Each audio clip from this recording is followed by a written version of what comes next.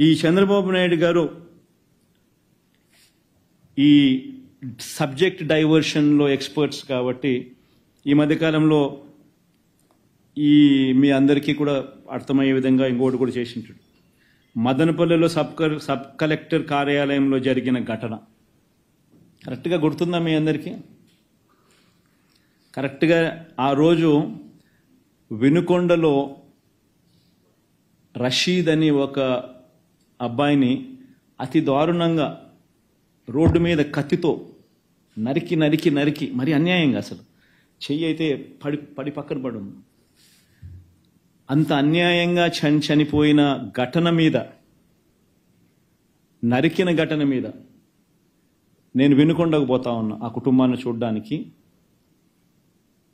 చంద్రబాబు నాయుడు గవర్నమెంట్ని ప్రశ్నించడానికి. ఆ ఘటన చేసిన వ్యక్తి ఎమ్మెల్యే భార్యకు సాక్షాత్ ఎమ్మెల్యే భార్య కేక్ తినిపిస్తా ఉన్నాడు. ఆ ఫోటో కూడా తల్లిదండ్రులు ఆ తల్లిదండ్రులు వాళ్ళ ఇంటికి పోయినప్పుడు నాకు ఇచ్చినారు.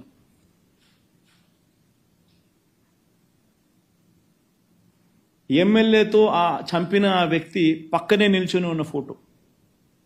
తెలుగుదేశం పార్టీ ఇతర నాయకులతో ఆ మనిషి కలిసి దిగిన పక్కనే ఉన్న ఫోటో. ఇవన్నీ నాకు ఆ కుటుంబ సభ్యులు ఇచ్చినారు. అయినా కేసులు వాళ్ళెవ్వరి మీద కేసులు పెట్టలా? పోలీసులు. ఎమ్మెల్యే భార్య మీద కేసు లేదు ఎమ్మెల్యే మీద కేసు లేదు ఎమ్మెల్యే ఎం ఆ- local leaders municipal ex municipal chairman వాళ్ళ మీద కూడా కేసులు వీటి మీద నేను ప్రశ్నిస్తూ ఆ రోజు నేను వినుకుండకపోయే కార్యక్రమం నేను చేస్తూ ఉంటే కరెక్ట్గా అదే రోజు టాపిక్ డైవర్ట్ చేసేందుకు ఆ రోజు ఏం చేశాడు చంద్రబాబు నాయుడు? ముఖ్యమంత్రిగా రెండుసార్లు రివ్యూలు తీసుకున్నాడు. మదనపల్లిలో ఆర్డీఓ కార్యాలయం కాలిపోతాయి ఎందుకు గాడ్ నోస్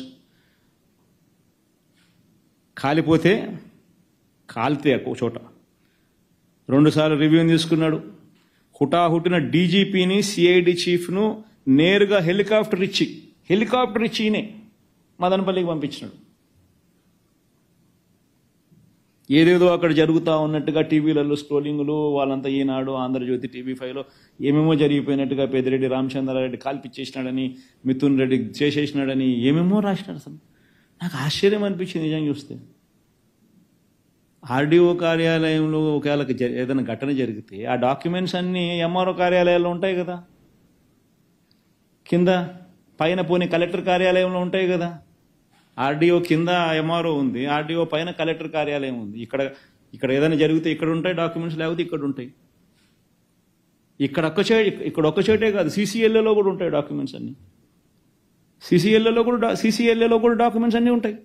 సీసీఎల్ఏలో కూడా వదిలేసాయి. ఆన్లైన్లో ఉంటాయి. బటన్ నొక్కితే ఆన్లైన్లో కనపడతాయి నీ డాక్యుమెంట్ ఏం కావాలో డాక్యుమెంట్స్. మిగతాటి కదా దేవుడు ఎరుగు.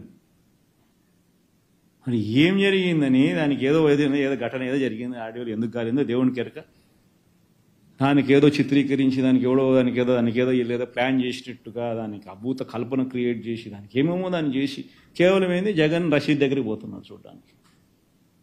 మై గాడ్ అసలు ఏ రకంగా ఇది సబమని చెప్పి నేను అడుగుతా ఉన్నా? ఏడు సార్లు పెదిరెడ్డి రామచంద్రారెడ్డి ఎమ్మెల్యే మూడు సార్లు మిథున్ రెడ్డి ఎంపీ. వాళ్ళకు మంచి పేరు ఉంది కాబట్టి ప్రజలు వాళ్ళకు వాళ్ళని ప్రతి సందర్భంలోనూ వాళ్ళని గెలిపిస్తూ వస్తున్నారు. కేవలం వాళ్ళను అబాస్పాలు చేయాలా? వాళ్ళ మీద బురదయ్యాల? వాళ్ళ ఇళ్ళ మీద ఇల్లే దాడులు చేస్తారు. వాళ్ళ సొంత కాన్స్టిట్యున్సీ వాళ్ళు తిరుగుతూ ఉన్నప్పుడు వాళ్ళ మీద వీళ్ళే దాడులు చేస్తారు. దాడులు చేసి కేసులు మళ్ళీ వీళ్ళ మీదనే పెడతారు. వీళ్ళ కార్లను వీళ్ళ కార్లను ధ్వంసం చేస్తారు. వీళ్ళ ఇళ్ళ మీద రాళ్ళు రాళ్ళు వేయిస్తారు. వీళ్ళ కార్లను కాల్ చేస్తారు. రెడ్డప్ప కార్ని అయితే కాల్ చేస్తారు మిథున్ రెడ్డి కార్లను అయితే పగలగొట్టినారు. ధ్వంసం చేసినారు. కేసు మళ్ళీ మిథున్ రెడ్డి మీదనే కేసులు. ఇంతటి దారుణంగా చేస్తూ ఉంటే నిజంగా ఆశ్చర్యం అనిపిస్తుంది. ఈ అసలు రాష్ట్రంలో ఒకసారి గమనిస్తే ఎంత దారుణమైన పరిస్థితి రాష్ట్రంలో జరుగుతూ ఉన్నాయి అని చెప్పి ఒకసారి చూస్తే ఆశ్చర్యం అనిపిస్తుంది నిజంగా. మదనపల్లిలో ఒక ప్రత్యేక హెలికాప్టర్లో పోలీసు అధికారులను పంపిన చంద్రబాబు నాయుడు గారు ఇది ఈ- స్లైడ్కి మళ్ళొద్దాంలేమ్మా. హెలికా ప్రత్యేక హెలికాప్టర్లో పంపించిన చంద్రబాబు నాయుడు కర్నూలు జిల్లాలో మచ్చుమరిలో బాలిక కుటుంబానికి న్యాయం చేయడానికి మాత్రం ఆయనకు వెంటనే స్పందన వెంటనే స్పందించడానికి మాత్రం ముందుకు రాడు. ఆశ్చర్యం ఏమిటంటే జూలై ఏడున బాలిక మీద బాలిక మిస్సింగ్ బాలిక మిస్సింగ్ జరిగితే వారం రోజుల తర్వాత వాల్మీకి కుటుంబాలు ఆందోళన చేస్తే పదహారవ తేదీన ఎస్పీ ప్రెస్ మీట్ పెడతాడు. డెడ్ బాడీని ఇప్పటికి కూడా చూపించరు. దీని నుంచి తప్పించుకునే దానికి ఒక దళితుడిని లాకప్ డెత్ లాకప్ డెత్ చేసేస్తాడు. ఈ కేసులో ఇంత తీవ్రంగా ఉండగానే మళ్ళీ ఎస్పీని ట్రాన్స్ఫర్. అసలు నిజంగా రాష్ట్రంలో ఒకసారి గమనిస్తే ఏం జరుగుతుందని చెప్పి చూస్తే కేవలం ఈ నలభై ఐదు రోజుల కాలంలో ఎనిమిది మందికి పైగా అత్యాచారాలు నా- నలుగురు హత్యలు అత్యాచారాలు. అంటే నలభై ఐదు రోజుల్లో పన్నెండు మంది మీద పన్నెండు మంది విమెన్ పన్నెండు మంది మహిళల మీద తీవ్రమైన ఘటనలు. కొన్ని చోట్ల హత్యలు అత్యాచారాలు కొన్ని చోట్ల అత్యాచారాలు. నలభై ఐదు రోజుల్లో పన్నెండు వందల ప- పన్నెండు మంది మీద. వైఎస్ఆర్సీపీ అధికారంలో ఉన్నప్పుడు మా పార్టీ అధికారంలో ఉన్నప్పుడు ప్రతి మహిళకు రక్షణగా దిశ యాప్ ఫోన్లోనే ఉండేది. కోటి నలభై లక్షల మంది మహిళలు డౌన్లోడ్ చేసుకున్నారు. ఏ ఒక్కరికైనా ప్రమాదంలో వాళ్ళు ఉన్నట్టుగా అనిపిస్తే ఊరిక ఐదు సార్లు ఫోన్ షేక్ చేసిన లేకపోతే ఎస్ఓఎస్ బటన్ నొక్కితే చాలు. వెంటనే వాళ్ళకి ఫోన్ వస్తుంది ఏమైందమ్మా అని. వాళ్ళు కన్నా ఫోన్ ఎత్తకపోతే పది నిమిషాల్లోనే పోలీసు పోలీస్ సోదరుడు వచ్చి ఆ అక్క చెల్లెమ్మను సమక్షంలో నిలబడి ఏమైంది అక్క అని చెప్పి అడిగే పరిస్థితి. ప్రతి గ్రామంలోనూ మహిళా పోలీస్ వైఎస్ఆర్సీపీ హయాంలో. ఈరోజు లాలెస్నెస్ అనేది ఏ స్థాయిలోకి వెళ్ళిపోయింది అని అంటే మహిళల గురించి పట్టించుకునే పరిస్థితి లేదు. దిశ యాప్ ఎలా పనిచేస్తూ ఉంది అని అంటే అది జగన్కి ఎక్కడ క్రెడిట్ వస్తుందో దిశ యాప్ బాగా పనిచేస్తే అని చెప్పి దాన్ని పట్టించుకునే పరిస్థితి ఉండదు. దిశ పోలీస్ స్టేషన్లు ఏమైనా పట్టించుకోరు. దిశ పబ్లిక్ ప్రాసిక్యూటర్లు ఏమైనా పట్టించుకోరు.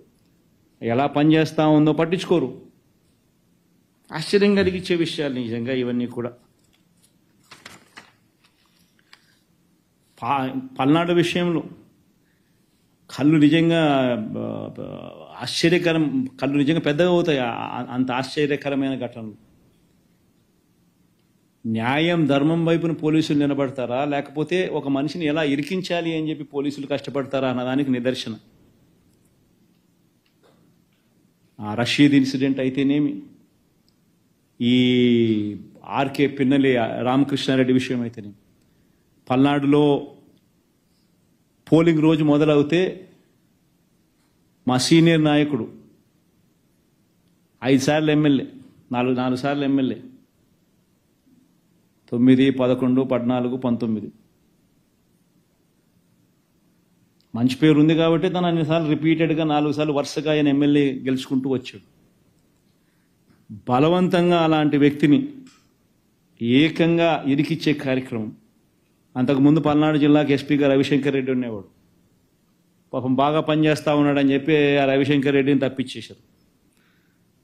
వీళ్ళు ఎలక్షన్ కమిషన్ను వీళ్ళకున్న కేంద్ర ప్రభుత్వంలో వీళ్ళకున్న పలుకుబడితో బిందు మాధవ్ అని చెప్పి ఒకరిని ఎస్పీని తెచ్చుకున్నారు. ఆయన చేస్తూ ఉన్న ఆకృత్యాలు అక్కడ అంతా ఇంత కాదు అని చెప్పి ఏకంగా తెలుసుకుని ఎలక్షన్ కమిషనే స్వయంగా ఆయన్ను సస్పెండ్ చేసింది.